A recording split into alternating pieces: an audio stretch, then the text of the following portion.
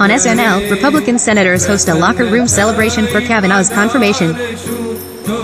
There were no surprise celebrity guests to come to the rescue of Saturday Night Live this weekend. No return visits from Matt Damon as Judge Brett Kavanaugh or Alec Baldwin as President Trump. So the show's ensemble cast was on its own, for better or for worse, to address Kavanaugh's contentious confirmation to the Supreme Court in its cold opening. Just a few hours after the narrow Senate vote. This broadcast, hosted by the comic actress Awkwafina Ocean's 8. Crazy Rich Asians, one of the very few Asian women to host the show in its history and featuring the musical guest Travis Scott, made an oblique acknowledgement of the representation issues that SNL frequently faces. The episode also addressed, in comic fashion, a controversial speech that the rapper Kanye West made on set in support of Trump last week after the closing credits rolled.